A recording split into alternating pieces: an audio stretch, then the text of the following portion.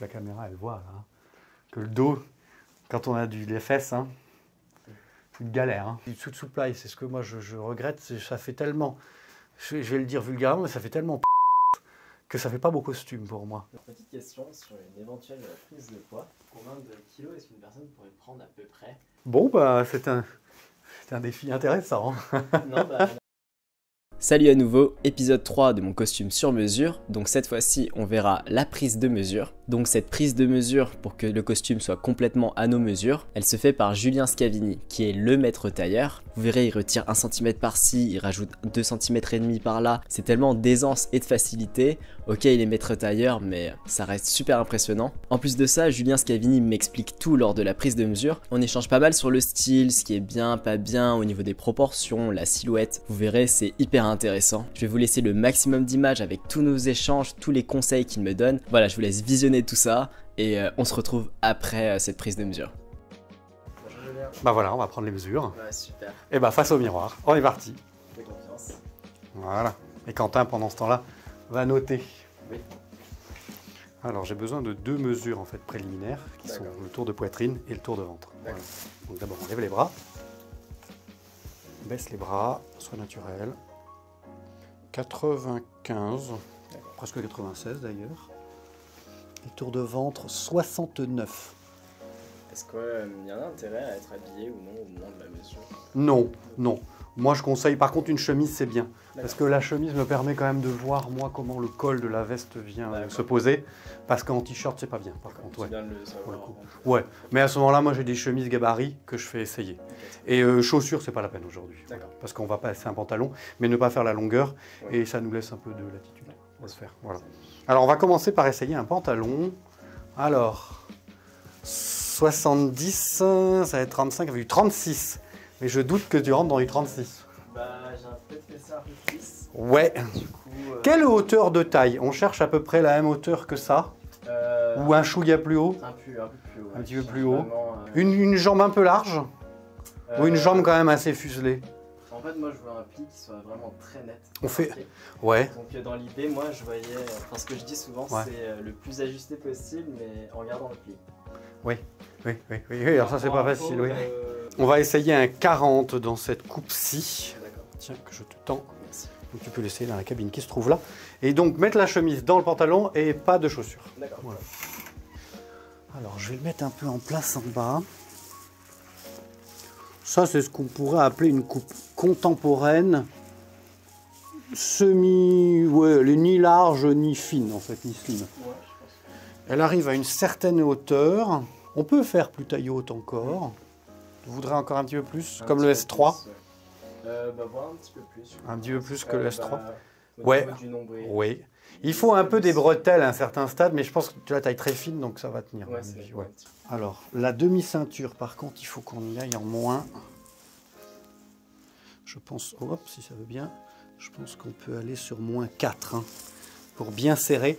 Éventuellement, on pourra toujours le resserrer à l'essayage, ou l'agrandir d'ailleurs, mais euh, voilà, je vais faire en sorte qu'il arrive déjà pas mal ajusté sur le ventre. Alors ensuite, du coup, on va sortir du rond, on va sortir de la pointe à 3 en conséquence de ce qu'on vient de faire là. Ouais, c'est propre. Alors, comme tu as le fessier rebondi, évidemment, il y aura forcément un peu de cuisse derrière. Parce qu'on peut difficilement galber euh, comme ça, en fait. Voilà. Surtout que si on veut que la pince soit, soit belle. Non, bah sinon, il place pas mal en dehors de ça, Quentin, donc j'ai pas grand chose à en dire. Vous pensez que le pantalon sera, au niveau de la jambe sera plus large plus. On va gagner un peu au niveau de la cuisse à cause de la pince. Ouais, exact. Et je vais agrandir un tout petit peu, moi, le fond de culotte, là, Oui. la fourche. Parce que là, elle, elle rentre un petit peu. Et puis les corrections que je vais faire vont faire qu'il vaut mieux donner un peu. Il y a Pas de bassin plat, c'est propre, tout ça. Écarte un tout petit peu les jambes. Je vais prendre la hauteur. Nous avons 70. Donc aujourd'hui, on va pas faire la longueur du pantalon. On va, va pas décider si on fait un ourlet ou un revers. Ça, on va le décider à l'essayage. Par contre, aujourd'hui, ce qu'on va décider de faire, c'est la largeur. Alors actuellement, le pantalon là présenté, il est à 20 cm. C'est un peu généreux. Bon, c'est vrai que l'esprit du temps, c'est un peu plus fin que ça. Après, ça donne une ligne un peu tailleur, peut-être. Est-ce que tu aurais un avis sur le sujet en te regardant vu de côté?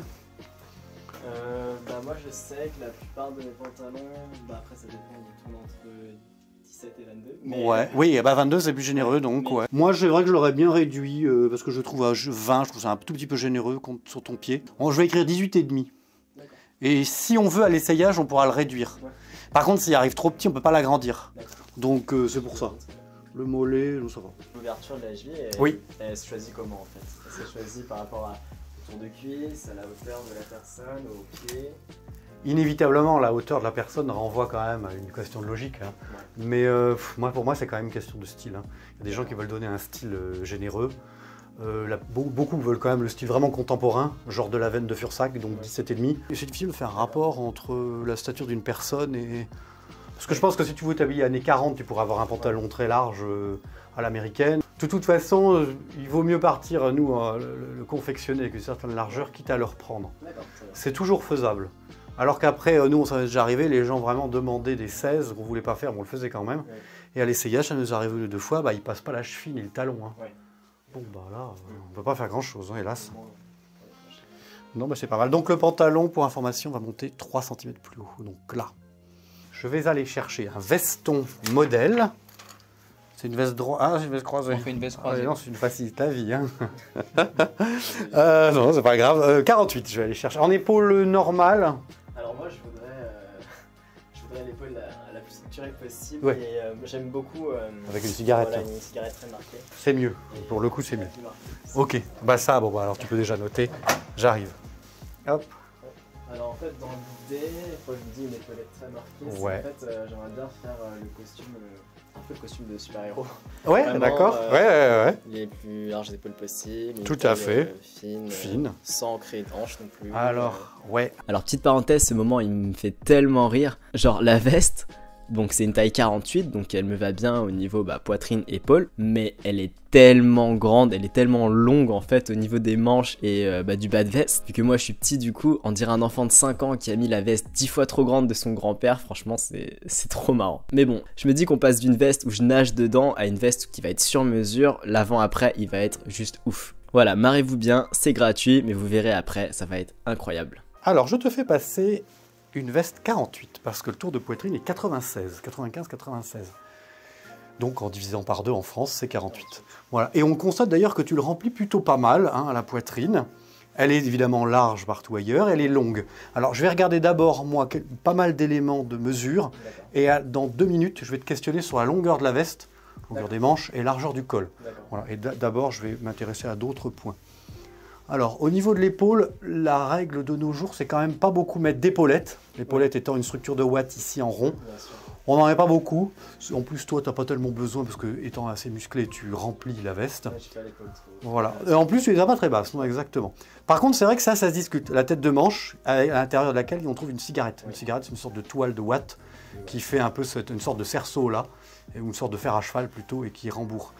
Et c'est ça qui permet de jouer, c'est cette cigarette qui permet de jouer sur le niveau de, voilà, de, la tête de manche. Bah, c'est exactement ce que je recherche, pas forcément beaucoup d'épaulettes, mais une cigarette. marquée.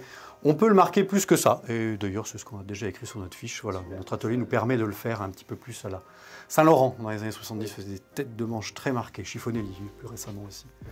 Alors nous allons élargir un tout petit peu cette veste au trapèze parce que hop, on voit ici que ton bras ressort et il y a un méplat qui se crée là. C'est tout simplement qu'il faut qu'on élargisse là pour venir chercher hop, la ligne droite, la tangente de ton, voilà, de ton biceps. Donc il faut qu'on donne euh, allègrement, euh, je pense, un, euh, on peut mettre 2,5 deux, deux au total. Hein. Si c'est trop large, on peut manger ici et raccourcir. C'est trop petit, on peut rien faire. Après, si c'est trop large, ce serait trop large en termes de confort Non, si, on sent qu'elle est un peu bizarre à l'essayage parce qu'elle est trop large, ça peut arriver, on pourra la reprendre. 2,5 2 ouais, oui, on peut mettre un 25 par côté, tout à fait. Nous aurons un plinuc fort. Nous avons des pentes d'épaule sans sujet. Nous avons, comme chez tous les Asiatiques, une tenue renversée forte. Ok, je sais pas pourquoi. Comme ça. Tenue renversée, c'est-à-dire. Euh, c'est l'inverse de la tenue, oui, c'est l'inverse de la tenue voûtée. Voilà, qui crée des plis là, dans le bas du dos. Ouais. Ça se corrige en fait en mesurant le. Voilà. On, retire du tissu et on mesure le, ce qui manque enfin ce qu'il y a en trop plutôt pour que le, dos trouve son aplomb. Voilà, ça il devient net. Comme c'est un croisé, nous allons mettre un. Voilà, on va faire ça. Petit secret. Mmh, Voilà. euh, Non. oh, moi je mets un peu plus. Ah bon Bah oui, à cause du fessier, là, je peux, on peut aller un petit peu plus. L'aplomb des manches sera léger vers l'arrière, voire médium à l'arrière. Tu porteras des poignées à boutons de manchette avec ce costume. Euh, non. Non. Ok. D'ailleurs, j'y pense, Quentin, euh, on n'a pas fait les fentes euh, sur le. Bah, c'est toujours euh, deux. Surtout sur On les donne pas le choix, nous on fait deux. Alors deux, pour le coup, pour toi, c'est beaucoup mieux. Hein. Parce que quand le fessier rebondit, ça permet de mieux gérer les fentes. On essaie de les faire assez hautes aussi d'ailleurs. Plus un. Bon, bah, je suis presque pas mal. Par Alors- défaut, on aime moins faire des fentes qu'une qu'une seule. oui, parce que c'est galère. Oui. Ça tombe pas parce que toujours. Souvent, c'est pas terrible. Après, si le client insiste. euh, Alors on peut retirer un petit centimètre de poitrine sur le flanc. Ouais. Donc je suis à moins 1 de croisure. Putain, ça flotte pas mal même. hein. Alors, euh, c'est toujours un peu ce que je me demande pour euh, le cintrage, et notamment sur un croisé. Ouais. C'est qu'en fait, euh, bah, j'ai regardé beaucoup de photos de croisés, et euh, des fois, j'ai l'impression que ça crée des hanches. Et, absolument. euh, Absolument. En fonction de comment c'est cintré sur le côté, derrière, Mhm. comment c'est creusé, bah, en fait, je voudrais bah, une taille quand même assez fine, Mhm. mais sans créer les hanches derrière. Alors le croisé crée un petit peu de hanche parce qu'en fait il a un bas carré devant. Ouais. Donc il faut que visuellement ce bas il soit toujours vertical et angulaire. Si les hanches passent pas bien, ça va tirer en fait là et, et ça va plus être droit mais ça va être penché. Donc ça c'est laid. Et c'est pour ça qu'on fait des, bas arrondis parce qu'en fait ça permet de compenser un petit peu la hanche. Oui. C'est-à-dire si la hanche elle prend un peu plus on s'en rend pas compte parce que c'est rond. Donc on voit pas la verticale. Et, et alors que le croisé, comme il est vertical, euh, on est obligé de donner de la hanche pour qu'on ait l'impression que cette verticale elle est bien verticale. Parce qu'il n'y a rien de pire qu'un croisé où, où on ne peut pas le boutonner devant et ça part comme ça. Du coup, le, le croisé, est-ce qu'il est moins cintré que le, le, Non, je ne pense pas qu'on puisse faire de rapport. Par contre, c'est vrai que toi, étant très musclé de là-haut, et avec une taille très très fine, c'est délicat de cintrer autant que tu es mince. Sinon, ça fait Hulk, ça fait vraiment comme ça. Ça, c'est pas, euh, c'est pas beau Non, c'est pas que c'est pas beau, mais c'est difficile à faire. Et surtout, on va avoir plein de problèmes dans le dos. D'accord. Ouais, toi, Et là, ça va créer de la hanche si c'est trop slim à la Ouais. taille. Mm. Les, quand on est fort musclé comme ça, c'est délicat d'être de, de fort cintré. Parce que le dos, on va avoir trop de problèmes là qui va se passer. Donc il y a un juste milieu à trouver. C'est vraiment, je le dis moi à tous les gens qui font de la musculation, c'est qu'à un moment donné, euh, on ne peut pas trop trop aller chercher le corps comme ça. Ouais. Sinon ça fait bizarre un petit peu quand même. En croisure, j'ai quand même retiré deux. hein. Et deux petits côtés. hein. Eh bien, je crois que j'ai 3 cm. Mais on va faire que deux parce que sinon ça va faire des problèmes. Au pire, on mettra un coup. Je pourrais recintrer à l'essayage. D'accord. Par contre, agrandir, c'est très délicat. Ouais. Donc je préfère partir sur une base qui est déjà pas mal, tu vois, là il y a des facettes qui se créent. Les poches sont comme en poche E, ok. Tu es sûr que tu veux une poche ticket Euh, qui se situe là? Pourquoi? Parce qu'en fait, euh, la poche ticket, euh, comme elle est là, en fait il y a ces coutures là qui sont assez intéressantes pour faire des cintrages à l'essayage. Oui. La couture du, dos petit, enfin, du petit côté devant. Ça permet vraiment de faire un joli cintrage. Par contre, quand il y a une poche ticket qui est dedans, on ne peut plus rien faire. Ah, bah Donc, euh. Ça, ça permettra. En fait, il faut toujours aussi. euh, c'est-à-dire chez un tailleur, on est là pour en faire plusieurs. Oui. Et, euh, surtout, le tailleur va gagner son argent quand va au bout du deux, troisième costume. Donc, il vaut mieux quand euh, bah, un premier projet avec un physique euh, à bien, à bien habillé, et un physique pas forcément facile. C'est idéal quand le projet, quand même, qu'on demande au tailleur, il est simple. Pas de carreaux, pas de trucs, pas de trucs délirants. Oui, ça permet de caler la première et que tout le monde soit content. Le tailleur, il a fait à peu près, il a réussi à peu près cerner les choses. Le client, il a quelque chose qui est 95% top. Et Voilà. Et comme ça, au deuxième costume, on peut rajouter des poches tickets, des poches plaquées, des épaules napolitaines. On peut aller chercher des choses qui sont quand même complexes à mettre au point. C'est un bon conseil. euh. Donc c'est pour ça que là, si on a que ces poches-là, à l'essayage, on pourrait éventuellement, hop, tac, cintrer un peu. Là, c'est très joli en plus, de bien raffiner encore la veste. Cordeau trapèze, bon, on a vu ça. Euh, J'ai pas d'autres sujets. Col trop long, couffin, pas de sujet. Tenue renversée, nous l'avons vu. Donc oui, c'est là qu'on va jouer sur les fentes. la caméra, elle voit là, que le dos, quand on a du, les fesses, hein, c'est une galère. hein. La grande mesure peut arriver à bout de tout. Mais quand on passe par un atelier, c'est plus délicat. Alors, on va faire aujourd'hui une pré-longueur de manche. Rien de définitif. Quand la veste arrive de l'atelier, et chez nous on fait 100% du tout, du- enfin, du 100% des clients comme ça, quand les vestes arrivent de l'atelier, elles sont dépourvues de boutonnières. Ce qui nous permet de caler les longueurs Mhm. avec finesse. Voilà. C'est toute la différence entre une demi-mesure qui est un peu plus, qui cherche à faire un peu plus de rendement, et nous. C'est-à-dire que nous, 100% des vestes, il faut quand même le comprendre, 100% des vestes par César Toucher. D'accord. Voilà, c'est- c'est quand même une différence notable par rapport à beaucoup d'autres maisons. Ouais. Et alors, je vais essayer de me ta- de tabler sur quelque chose comme ça, voilà, qu'on voit un peu de chemise, un centimètre, un centimètre et demi. Celle-là est sûrement un peu longue, cette chemise. Probablement un petit peu, mais tu vois, je suis allé un peu généreux. Bien, Et comme ça, à l'essayage, on constatera s'il faut encore raccourcir ou rallonger un peu. Voilà. Et on aura toute l'attitude de le faire parce qu'on n'aura pas de boutonnière. Et nous avons de base 56,5. Voilà. 56 vu que tu élargis les épaules. Oui, exactement, tout à fait. Sachant que euh, c'est pas du béton, une veste, et à l'atelier, c'est quand même cousu à la main, Oui. ça peut sortir avec une différence droite-gauche. hein. Donc ça permet aussi, nous, de constater à l'essayage soit une différence du corps, une asymétrie, tout le monde a une asymétrie du corps, soit une asymétrie de production, qui n'est pas du tout honteuse, hein, puis- puisque c'est cousu à la main quand même. Alors ensuite, un petit point de style. Le col d'un croisé est un col en pointe, donc il n'a pas cette forme-là. Oui. En général, bah alors toi quand même, tu as, oui, tu as une épaule, euh, on peut y aller un peu. En général, on cherche 10, peut-être. Alors je te montre à 10,5 ce que ça représente. Voilà, je le trace sur toi. Alors en réalité, il est un tout petit peu plus bas. hein. Oui. Mais là, je le trace parce que ça permet de le, le mettre en valeur dans cet interstice. ça. Ça, ça fait 10,5. Je voyais ça un peu plus large.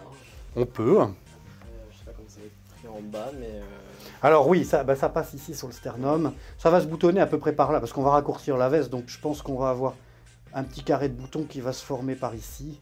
Voilà, je sais pas, très... et deux boutons factices par ici.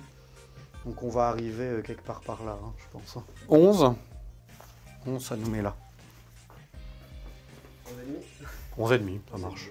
11 et aussi par rapport aussi à la forme de vos revers, sont assez euh, particuliers. Oui, il est plus pointu. euh, alors, on le positionne pas aussi haut que, que sous supply parce que j'ai tendance à penser que ça décolle de l'épaule. Donc, il est un peu plus bas.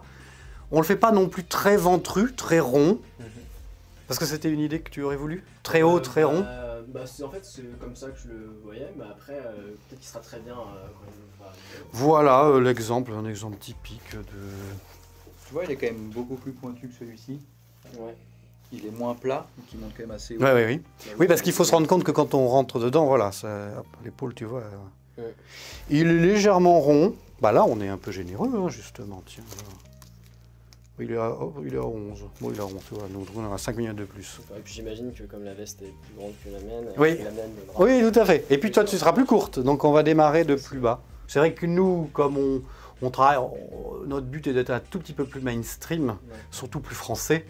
On a moins cet habitus comme ça de proposer des choses très typées. euh, Bah, qu'on moi, cherche pas forcément à faire d'ailleurs.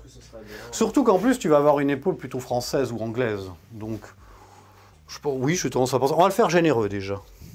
Parce qu'on a déjà fait un revers euh, assez arrondi. Très c'était rond. Pas très Ouais. joli, hein, pour être Ouais. très honnête. euh, On l'a fait déjà le très haut, ça manquait un peu de charme. avec la pointe très très décollante comme ça, et très très rond comme ça. On l'a fait. C'était un Il est sur notre site c'était internet, un peu euh. vulgaire en fait. C'était un peu. J'ai pas trouvé ça très joli non plus. Enfin, moi, je suis pas convaincu parce que ça va, t'a- ça va te tasser aussi. Si C'est ce que j'ai rond. tendance à penser moi aussi. Si c'est en plus trop haut, alors qu'un col qui est placé au bon endroit sur la clavicule, ça fait assez prestigieux, ça fait Ouais. beau costume tailleur. C'est ce que je regrette un peu du côté du sous supply, c'est ce que moi je, je regrette, ça fait tellement, je, je vais le dire vulgairement, mais ça fait tellement que ça fait pas beau costume pour moi. Ça fait, ça fait, ça- ouais, pour moi ça fait pas, c'est pas un costume de Denis ou Brioni que j'ai en face de moi, ni un costume de tailleur. C'est- Pour moi, ça, ça fait le costume qui veut faire de l'effet, euh, qui, veut en mettre plein la vue, mais ça fait pas un beau costume à la fin pour moi. Ça se voit tout de suite dans. Quelqu'un qui a un costume sous supply dans la rue, on le voit tout de suite. hein. Et c'est pas du tout synonyme dans ma tête de costume élégant, un costume de monsieur. Alors, et dernier point à voir. Alors, on a une fiche de mesure qu'on ne voit pas à la caméra, très peu, où on, a plein de catégories, plein de cases. Et on remplit toutes les cases chez nous. Voilà, donc on les raye même quand on n'a rien à mettre dedans. C'est un peu la garantie pour le- tous les gens qui viennent nous voir qu'on a pris vraiment le temps de faire tout jusqu'à fond en fait. hein. Et normalement, le client quand il repart, il n'y a plus de questions en suspens. hein, vraiment. Des fois, il y a des gens qui nous appellent le lendemain. Par exemple, quand euh, ils nous disent combien on met de boutons en bas des manches. Oui. Ah, vas-y, on vous pose pas la question parce qu'on le fait à la fin. ça. Oui. Voilà. Alors maintenant, on va regarder la longueur de la veste. Alors, petit point d'intérêt. En général, moi, je me fie à ce que le fond de la veste arrive entre le milieu et le haut du pouce. Voilà, mais ça, ça dépend des bras de tout un chacun. Donc cette règle n'est pas toujours vraie. Deuxième point, en général, le fond d'une veste arrive au fond de l'entrejambe, la fourche, là où la lumière s'arrête. Pour le coup, Peut-être que ça n'a pas marché non plus pour toi cette règle. Je vais remonter un peu ce pantalon, voilà, qui a peut-être bougé un peu. Voilà, je le remets un peu à sa place. Donc là, je t'ai donné deux critères. Tendance à penser que pour toi, ces deux critères vont pas vraiment marcher. Donc, euh, on va un peu. Ben, je sais pas, parce que je trouve que. Ouais, la fourche. Ah, quoi que si, par rapport à la fourche, ça pourrait. Et du coup, sinon, il aurait Quoique, si, si, si, si, si, euh, par rapport à la. Non, bah, ah, ah, bah, l'œil. D'accord. Voilà, c'est l'expérience. Elle est trop longue, exactement. Non, mais ouais. C'est un peu long, mais c'est pas très choquant. Je pense que. ah. Alors, il y a une règle mathématique qu'on veut- que je vais faire, qui marche pas mal. Mais alors, faut pas non plus que ce soit trop court, un croisé. Oh Voilà. ridicule. Un croisé court. euh, veste d'enfant. Ah ouais, trop ouais, long, ouais. ça va vraiment faire, enfin trop long, de, pour 2020. Ah, ça tasse, Ça Max. va vraiment Ouais. faire euh, années 80. euh, Ouais, ouais. tu vois, Alors ça- là- Et ça va pas être l'esthétique euh, non plus. Quoi. Je suis en train de faire le tour. J'ai fait moins 4 tout autour pour commencer. Tu vas te regarder vue de côté parce que la vue de côté est plus neutre. Voilà. Alors la poche du pantalon, elle est juste là. Donc faut quand même pas non plus trop trop monter la veste. Le pantalon a encore dû descendre un chouïa mini. Voilà. Le fond de fessier, bah, il est là. Donc tu vois, on est un tout petit peu au-dessus. Et l'avantage vu de côté, comme ça, ça permet de jauger un peu l'équilibre. Hop, ça, ça devrait être plus vers l'avant. Veux faire la règle? C'est pas si mal, moi j'ai tendance à penser. Euh, aucune raison de refaire plus long, hein, vraiment, pas de raison de rallonger. Alors encore une fois, ça c'est vraiment une question de goût de la maison, et je pense qu'on est, Quentin et moi, on est arrivé à cette conclusion, et puis Pierre-Antoine aussi. Quand on est musclé, c'est beaucoup plus beau d'avoir une veste un peu longue que trop courte. Mhm. Parce que ça permet de mieux, mieux mettre en valeur le poitrail bien musclé et, et la taille cintrée. Parce que plus on fait une veste courte, moins on peut cintrer. Voilà, c'est évident. Et notamment avec un fessier développé, une veste plus longue, elle permet de faire des fentes plus hautes et tomber mieux en fait dans le dos. Et je trouve que ça met beaucoup plus en valeur un mec musclé, qui est un beau mec, d'avoir une veste longue que d'avoir une veste trop courte de garçonnet. Donc euh, on est tous. C'est juste qu'en fait, bah, c'est un peu un compromis à chaque fois. Euh, bah, quand on n'est pas très grand, des fois on a envie de laisser voir un peu plus de jambes. Ouais. Et du coup, c'est un peu un compromis à trouver entre les deux.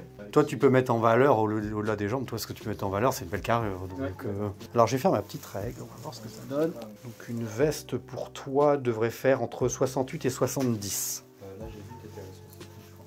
Ah, bah, tu vois. 68. On tombe pas loin, ouais. On est à 69,5, ouais, exactement. On est à 70, là, vraiment. Notons 69. Je pense que c'est bien. Un centimètre. Ouais, moins, un centimètre, ouais, 69. Mais Encore une fois, c'est, je préfère pas la faire trop courte pour au contraire mettre en valeur une taille bien fine et des épaules, un beau V. Voilà, je pense que ça, ça, ça met beaucoup plus en valeur. ouais.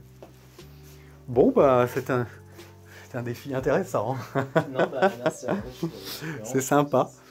Hop, je défais ça. Donc voilà, bah là, vraiment, toutes nos cases sont remplies. Donc, euh, bon, pas de questionnement particulier. Petite question sur une Est-ce qu'une personne pourrait prendre à peu près J'ai tendance à penser que 4 à 5 kilos équivaut à une taille, en plus ou en moins. D'accord. Donc si tu prends 4 à 5 kilos, euh, tu gagnes une taille, donc tu ne rentreras plus dedans. D'accord. Voilà. Surtout toi, là. Ouais. Voilà. Là. Aussi, les omoplates, développement comme ça de muscles. Après, a- Ouais. Bah encore une fois, on peut cintrer, donc si tu perds, mais c'est difficile d'agrandir. Donc, notamment ici, tout ça, tout ce complexe-là, on peut rien faire en agrandissement. Après, au niveau du pantalon, si tu prends de la cuisse ou du fessier, ça, ça peut s'agrandir. Le pantalon a une taille et demie, voire deux tailles à gagner. Ça, c'est faisable. Et au niveau de la ceinture De la ceinture aussi, voilà. ouais. Ouais. Tout ce complexe du pantalon, c'est-à-dire le haut ceinture jusqu'à jusqu'à là, on peut l'agrandir d'une taille et demie. D'accord. Voilà. Pas le bas Non, il n'y a pas de relâche dans un pantalon. Il y a vraiment des petites coutures fines. D'accord. Non, non. Oui, c'est pour ça que je dis, je préfère le faire arriver donc comment à 18, 18 et demi. Ouais, bien sûr. Parce que si on, on slim à l'essayage, qu'on l'amène à 17, Ouais, Tu- ben oui, mais tu l'auras ce tissu pour plus tard. Oui. Voilà, dans ce sens-là, ça Oui, marche. d'accord. Si dans deux ans tu veux agrandir, on l'aura. Par contre, si on le fait arriver à 17 et demi, on l'aura jamais. Donc en gros, vous ne coupez pas, vous le mettez Non. dans- On va exactement, c'est replié. Hop. C'est un peu chaud aujourd'hui. L'essayage aura lieu en septembre, espérons qu'il fasse plus frais. Et ben c'est tout bon. Tu peux te changer. Donc voilà, c'était la prise de mesure avec Julien Scalini. Je vous avais dit que c'est hyper impressionnant et juste tellement enrichissant. En tout cas, moi, c'est ce que j'ai ressenti, c'est ce que j'ai vécu. Donc là, maintenant, euh, après avoir fait le tissu, personnalisation et prise de mesure, bah, on va se retrouver avec euh, l'essayage. Donc là, je vais passer du petit bout de tissu et toute l'imagination que j'avais à la veste et le pantalon en grand pour faire voilà, les derniers ajustements. Et euh, j'ai juste trop, trop, trop hâte. Mais donc voilà, fin de l'épisode. Comme d'habitude, like, commentaire, abonnement si ça vous a plu. Et on se dit à bientôt pour l'épisode. Pour l'épisode. Pour l'épisode sur l'essayage. Salut